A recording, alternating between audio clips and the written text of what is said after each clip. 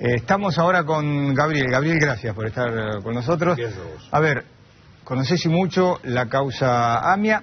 El gobierno insiste en la teoría del complot y lo que dice, con la presidenta a la cabeza, dice que ese complot contra el gobierno, en el caso de, la AMIA y de Nisman, tenía varias partes. Una de ellas es la vuelta al país de, este, de Nisman para que le entreguen los servicios de una carpeta, hacer la denuncia y ese complot incluía la muerte de Nisman. ¿Vos crees en el complot?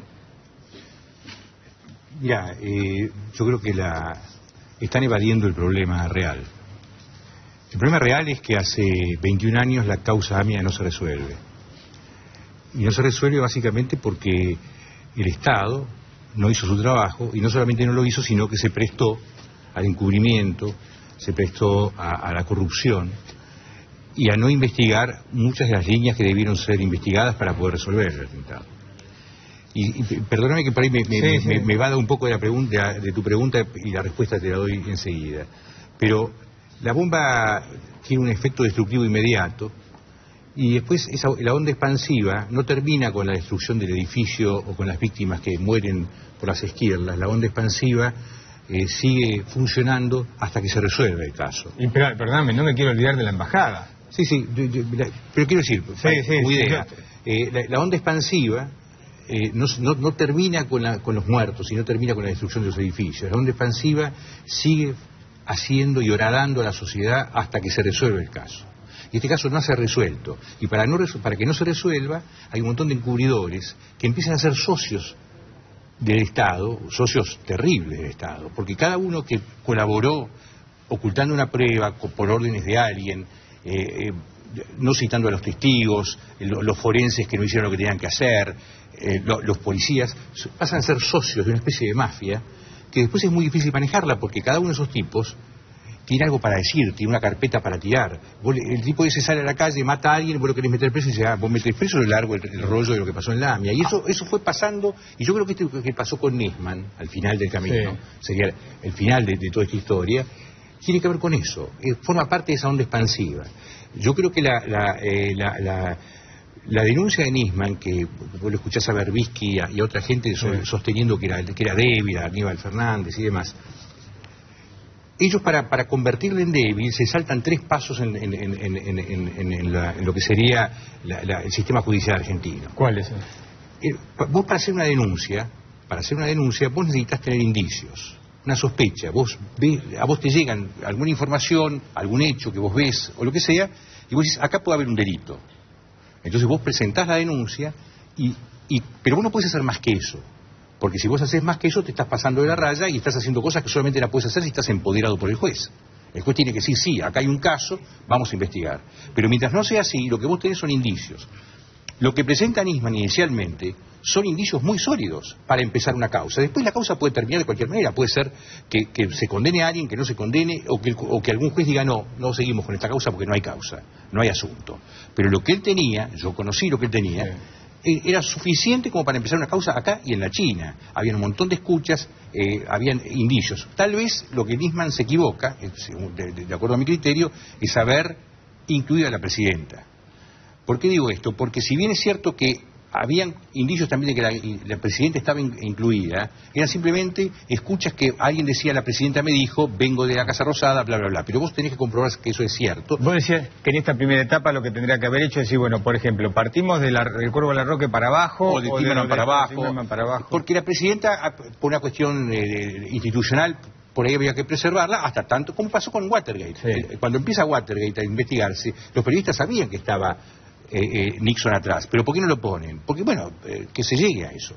Tenía que llegarse a eso. Yo creo que ahí fue un error táctico de, él, pero tal vez, como él sabía que lo iban a echar, y por eso adelanta la denuncia, tal vez por eso él, trató de hacer un bamboche más grande, tuvo un ruido más grande, cosa de que cueste más echarlo. Este, bueno, salieron las cosas distinto y mal a través de un suceso que todavía no se aclara. Y, el suceso no se aclara tal vez por las mismas razones que tampoco se aclaró tantas, tantas otras causas que no se aclaran en la Argentina. Vos sabés que la mayoría de las causas importantes que hubo, Río Tercero, la Embajada, eh, crímenes importantes o crímenes sonados, ninguno realmente se, se, aclaró. Y vos decís, ¿cómo es que no se aclara? Bueno, Hay, hay una parte que la Policía Federal lo sabe usar muy bien, y la Fuerza de Seguridad también, y también, que ya viene de la época de los milicos todavía, que es disfrazar el encubrimiento de ineficiencia. Es muy difícil saber cuándo realmente son ineficientes o cuándo, o cuándo están haciendo ceros ineficientes, porque cuando quieren hacer las cosas bien saben hacerlas. Cuando quieren llegar rápido donde quieren llegar, saben hacerlo. En, la, causa AMIA, por ejemplo, apenas empezó, se robaron hasta, hasta los relojes y la plata de las víctimas. ¿Entendés? Eh, robaron, cambiaron pruebas, hicieron una serie de cosas. Y acá pasó una cosa muy parecida. Primero, te, dicen, eh, entró la madre primero.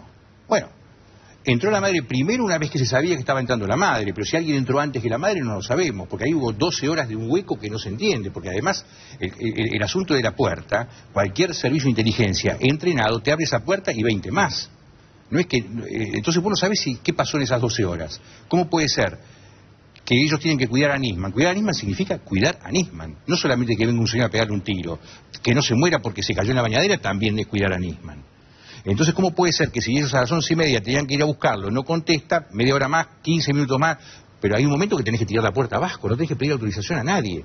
Vos tenés que sacar un tiempo que está en un problema. ¿Vos pensás entonces que la muerte de Nisman va a ser una de las tantas investigaciones que nunca va a terminar este país? Y si vos te fijas cómo empieza la investigación, empieza mal. Porque lo primero que se hace en una situación así, primero no tiene por qué entrar la madre a encontrar a su hijo muerto. Es una locura, siempre se preserva al familiar. digamos, primero no entra la madre, se la deja afuera. Por más que grite y patale, no tiene que entrar la madre. ¿Cómo vas a dejar que una, persona mayor entre y lo vea a su hijo tirado en el piso muerto? Es un delirio esas cosas que se ven en las películas y en las series de televisión son cosas que están hechas asesoradas por expertos, no se hace la, serie así nomás. Y esas cosas son así, así como se debe manejar. Por ejemplo, entra, entra el, eh, entra el, el, médico, ve que el hombre está muerto, sale el médico, se presenta el lugar y entran los forenses y entran los peritos. Toman todas las pruebas que se tienen que tomar en ese mismo momento. No puede ser que seis o ocho días después, como pasó ahora, pidan los teléfonos. ¿Y esos ocho días qué pasó con esos teléfonos? Se pueden haber borrado, se pueden haber sacado información, puede haber llamado a alguien puede haber entrado en la compañía de, teléfono borrando llamadas. Ocho días, eso el primer día, a la hora, un fiscal tiene que decir, agarran todos los teléfonos de la custodia, de Nisman, de todo el mundo. No lo hicieron. ¿Por qué no lo hicieron? Bueno, no es, puede ser ineficiencia y puede ser incumplimiento. Ahora, Gabriel, fíjate cómo estará todo de enredado, de oscuro, de sucio en todo esto, que hasta se le apuntó al periodista que tenía una buena fuente, eh, Gabriel, eh, Damián Pachter este, tenía una buena fuente, dijo lo que pasaba y se tuvo que ir a refugiar a Israel. Bueno, y del mismo modo que demonizaron, que quieren demonizar a, Nisma y quieren encontrar historias raras, y ya, lo hemos visto a Graña inventando historias de Nisma, buscando el coche. Puede ser lo peor del mundo, pero al hombre lo han matado, es un asesinato y hay que averiguarlo. Eso que me importa quién es el tipo. Este, y lo mismo hicieron con Pasteur. Con la agravante que lo escracharon públicamente. No, pero, además. Pero la realidad, ¿por qué lo escrachan? ¿Y por qué lo atacan a Pasteur? ¿Por qué?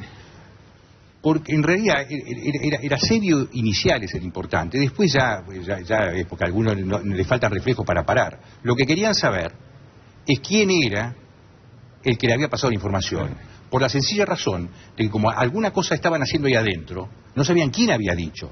Porque si, si, era el, si era el médico, como después te resultó siendo, no es un problema. Pero mirá si era uno de los 10 o 12 tipos que estaban ahí adentro y podía contar alguna de las cosas que hicieron. Pero Gabriel, el gobierno maneja los servicios, no tenía necesidad de escrachar a un periodista para averiguar no, quién era la no, no, no, no, no, no, es escrachar. Digo, eh, la, parte del escrache es posterior.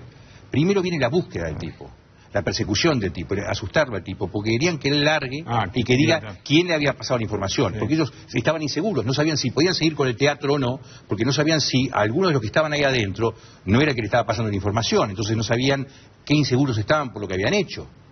Una vez que supieron que era él, después viene la parte del scratch, que es otra historia, que eso inclusive sale de, la Casa Rosada, con el, con el, con, con la tuitera de la Casa Rosada, con el pasaje que pasa de aerolíneas. Pero la realidad, es, y después desprestigiando al tipo que era de la Mossad, de acá, allá, ¿te imaginas vos si la Mossad este, tiene chicos que cuando al, primer grito salen corriendo, el Estado de Israel ya no existiría? y trabaja para un medio que, digamos, el Gerald de ahora no es el Gerald que conocimos en la época de la dictadura. cuando yo estaba muy asustado. Yo era amigo del padre, casualmente yo era amigo del padre del colegio, éramos compañeros de colegio. Este, pero al pibe no lo conocía, lo conocí en un programa de televisión hace, unos días atrás. Ahora, Gabriel, vos hablaste, recién cuando mencionas el caso de Parcher, hablaste de el teatro, el lugar donde apareció Nisman, eh, el departamento. ¿Por qué decís el teatro? No, el teatro que estaban haciendo. Sí, por eso, el teatro que estaban haciendo. Bueno, de, hecho, si el hombre muere a las once y media, eh, la, presidenta dice que a las doce y media ya sabía que, había un cuerpo tirado ahí que no sabían quién era. Este, y a las cuatro recién o tres y pico avisan que, el hombre está muerto oficialmente, ¿qué pasó? todo, todo, ese tiempo estaban tratando de armar alguna clase de escena, de, qué es lo que tenían que decir, cómo iban a presentar la situación. Y al mismo tiempo, yo, a mí me consta que se han robado carpetas. ¿De dónde? De adentro de la casa de Nisman, de arriba, de, arriba como 18 carpetas arriba de la mesa, de las cuales faltan varias. A ver, eh, yo imagino que saben quiénes entraron ahí a, bueno, Se lo vio, se vio a un tipo que salía eh, junto con Bernie que tenía varijitas, un tipo que entraron sin nada, salían con una varijita. Yo no sé qué es lo que pasó ahí adentro. Es grave lo que estás diciendo, ¿sabes? Absolutamente. Pero es que, Porque él tenía pruebas y tenía toda su investigación y estaba trabajando sobre esa investigación para llevarla que ahí adentro hubo, pasó de todo. Pasó de todo. Y yo creo que de entrada debe haber pasado cosas que ni siquiera sabemos. Porque vuelvo a repetirte, primero, viste cómo abrió la puerta el cerrajero. Si el cerrajero abre la puerta así, imagínate un, servicio que es especializado en, esas, en, penetraciones. Hay tipos que son especiales para penetrar casas, eh, que es, su trabajo. Que vos te vas a tu, vos te vas de tu casa, entran, miran la computadora, le ponen alguna cosa, se van y nadie se entera. ¿A vos te parece que hace falta 12 horas para, para poder abrir una puerta? ¿A quién se lo cuentan eso? Eh, Perdón, estamos hablando además de un objetivo que había sido amenazado por, los iraníes, había sido amenazado por Hezbollah, era, era, era, un target, como se dice en inglés, era un objetivo que tenía que estar muy, muy cuidado, entonces ¿A quién pones a cuidarlo? ¿Cómo puede ser que, nadie, eh, nadie hizo nada para resolver el problema durante 12 horas? ¿Qué hay que hacer con los servicios de inteligencia? ¿Cómo influyeron en la causa AMIA? Absolutamente, porque además no puede ser de otra manera. técnicamente, si vos investigás un atentado terrorista, no hay forma de hacerlo sin los servicios de inteligencia. Corresponde. En, cualquier lugar del mundo se hace así. Contactarse eh, con los israelíes, con los americanos. No, pero además con tus propios servicios de inteligencia, son, los, son, los, encargados. Y por supuesto, todo el, intercambio de información. Vos sabés que los servicios de inteligencia terminan siendo una suerte de diplomacia paralela este, más oscura, pero una diplomacia al fin. Estiuso justamente tenía los contactos con los alemanes, con los, con los franceses, con los, con los yanquis, con, con, los israelíes, con los japoneses. Básicamente tenía contactos muy fuertes y era un tipo confiable para ellos. Confiable significa que, bueno, en, los términos de ellos, cumpliría con su palabra. Bueno, era director de la inteligencia exterior. Sí, sí, sí. Al mismo tiempo, eh, mientras tanto, yo creo que para preparar todo esto, eh, este cambio que intenta Cristina ahora, que seguramente lo debe haber adelantado o algo así, ella empezó a, trabajar con Milani. Milani ha traído un montón de, equipo nuevo, ha comprado muchísimo equipo nuevo a los israelíes, por ejemplo, entre ellos una cosa que se llama el eh, ELSTR 315, que sirve especialmente para escuchas ilegales en lugar de ser las escuchas que se hacen a través del juez que le pide a la compañía de teléfono, la compañía de teléfono arregla con la, con la CIDE y hacen el sistema, en este caso es una especie de mochila que entra en una mochila o en una moto o en un coche cualquiera, se para en, una, en, la cuadra y toma todas las, las, comunicaciones inalámbricas que existan, ya sea tu wifi, tu teléfono, tu laptop, cualquier cosa que funcione por el aire es interceptada. Eso, por ejemplo, es ilegal. Eh, compró unos drones que, se llaman Said de Israel, que son unos drones que, andan, tienen casi 10, días de autonomía eh, y son muy precisos, inclusive eh, tiene un sistema que a pesar que te sacan de arriba, vos ves como si las fotos te las sacan de abajo, porque tiene un sistema de, bueno, mucho aparato. Y yo creo que de alguna manera ella se sintió fuerte como para hacer este, esta jugada, porque se apoya en este señor, que además fue represor y que toda historia que sabemos con ese doble discurso de que hay, un señor, eh, que ahora no me acuerdo el nombre, que, fue jefe de, Milani, que era, en aquel momento era, teniente o capitán, este, que está preso con muchísimas menos pruebas de las que existen para Milani. Una, una causa similar. ¿Por qué? Bueno, decidieron que él los ayude en este tema de inteligencia y supongo que esto les da la fuerza como para poder atacar del modo que están haciendo con la, con la CIDE.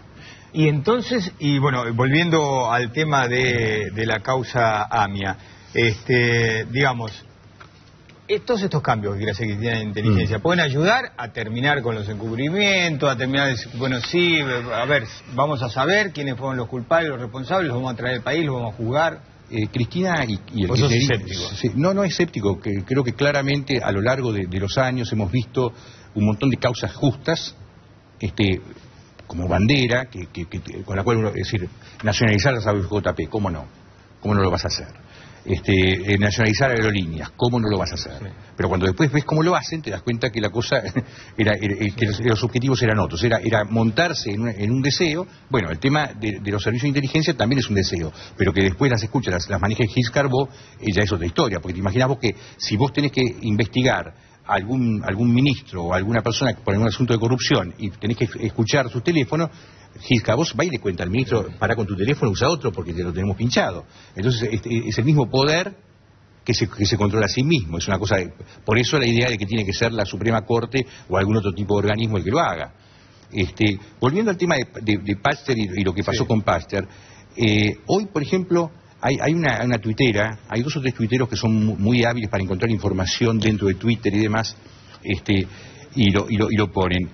De la Casa Rosada, lo que hace, este, ese tweet, esa, esa, esa, esa, cuenta que se llama Casa Rosada AR, eh, se, la pasa sí, se la pasa denunciando, denunciando otras cuentas, esas cuentas opositoras, y logra por un rato o por, o por, varios días que se anulen cuentas. A mí me anularon la mía por un, un, rato, yo logré resucitarla, y hay una chica que se llama Pajarita, que dicen Pajarita, que es muy conocida, este, que, siempre consigue información en contra del gobierno, que acaban de cerrar la cuenta por orden de, por pedido de, la Casa Rosada. Es está la Casa Rosada impidiendo el, libre tráfico de las redes de comunicación. Es una cosa increíble lo que está pasando. Y esa chica es la misma que, que publica lo de La que publica el viaje de Pasteur, ¿no? Es decir, que hay como un, una, eh, un, crecimiento de la intolerancia en las redes sociales por parte del gobierno. Se traslada de los medios clásicos a las redes sociales. A las redes sociales, sí.